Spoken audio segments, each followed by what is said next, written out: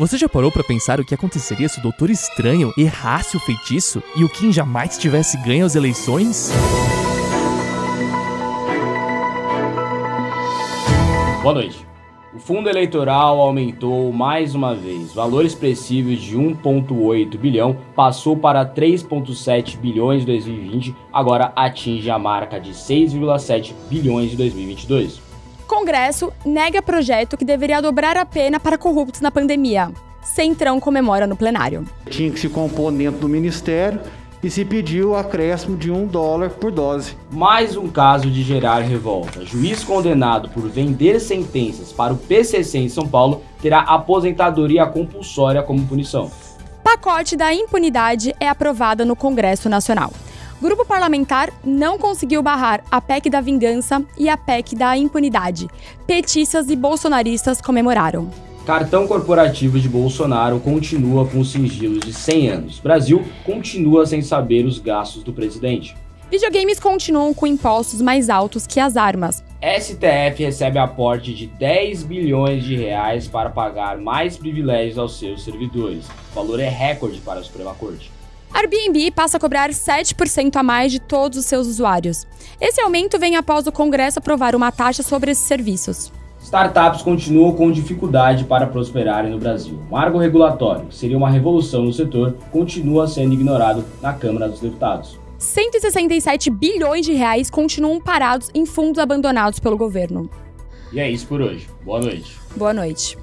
Ufa, ainda bem que ele estava lá para lutar por nós. Ainda existe mais possibilidade de cortar a tributação, de cortar a alíquota dos tributos sobre os games. Não é meramente uma brincadeira, um passatempo, uma coisa de criança. É geração de emprego, geração de renda, inclusive a uso para fins educacionais e instituições de saúde. Acatou a emenda de minha autoria para que não houvesse nenhum tipo de aumento do fundo eleitoral parlamento demonstra coerência nessa decisão, o parlamento demonstra preocupação com a sociedade. Mas o presidente da República, Jair Bolsonaro, é o que mais gasta com cartão corporativo da história da nova República. São 700 mil reais por mês de gasto com cartão corporativo, mais do que qualquer outro presidente da República. Enquanto a gente amarga um dos piores períodos de aumento de miséria e de desigualdade social, a prioridade do parlamento e do governo Bolsonaro é debater se a emenda do orçamento secreto vai ser de 16 ou de 17 bilhões de reais. O teto de 39 mil reais virou piso e tudo isso financiado com a maioria esmagadora da população brasileira que recebe até 400,